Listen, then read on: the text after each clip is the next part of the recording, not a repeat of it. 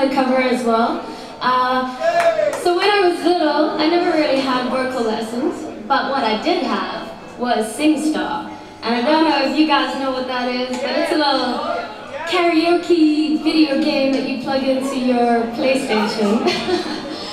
and you, you do your own karaoke at home. Anyways, I used to sing this song at the top of my lungs when I was like 10 years old, so I just thought it was appropriate. Anyways, uh, if you recognize the tune, please sing along. All right.